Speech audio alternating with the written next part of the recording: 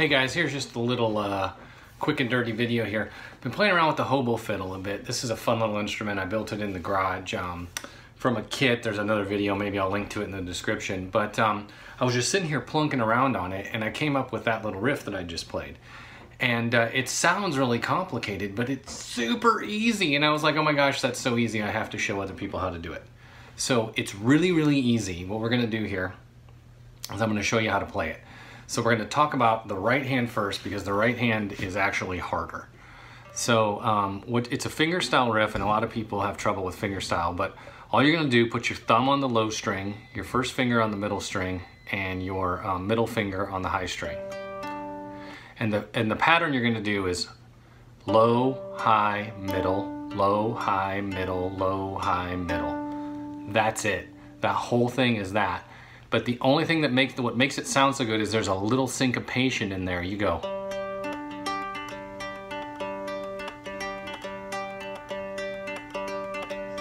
So you go instead of going one, two, three, one, two, three, one, two, three, you go one, two, three, one, two, three, four, one, two.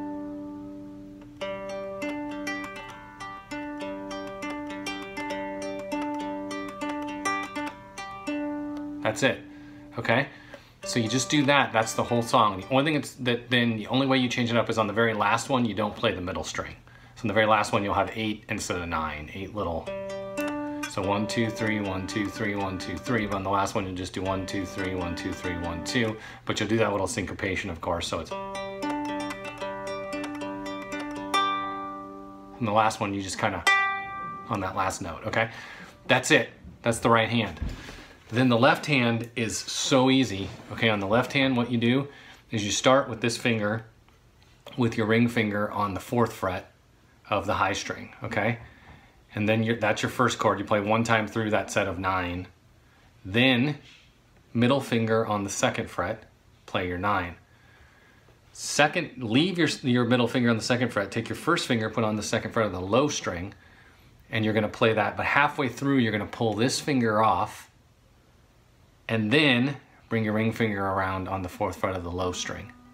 Okay? So you're gonna go. Oops, sorry, I didn't have a very good hold on that.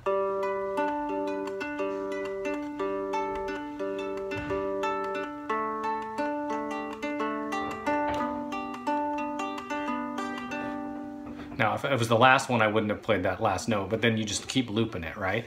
So um, I'm kind of to scoot forward here. It's kind of hard to, okay, there we go.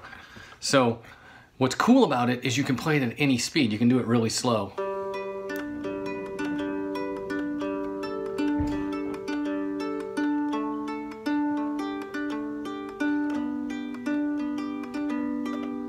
And it's kind of, you know, serious and ominous. You can do it really, really fast.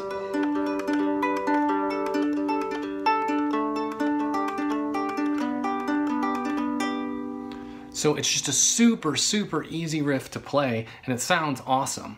Um, and it's super simple. Boom, boom, boom, lift, boom. And then on this hand, you just got the little. That's all there is to it, man.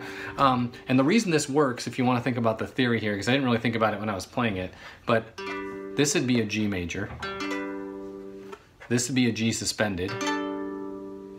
This would be a D5 with an A in the bass, a D5 with an A in the bass.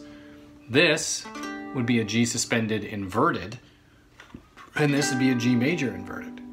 So it makes perfect sense that it would sound good together. It's totally uh, like a set of notes that sound good together, but it's super easy. So next time you pick up a three-string guitar, I mean, you could do this, I'm doing it on the hobo fiddle, but you could do this on a standard three-string cigar box guitar or a, even a dulcimer if it was tuned like this. So, but this anything that's tuned in the root five root, doesn't even matter the key. Just play it.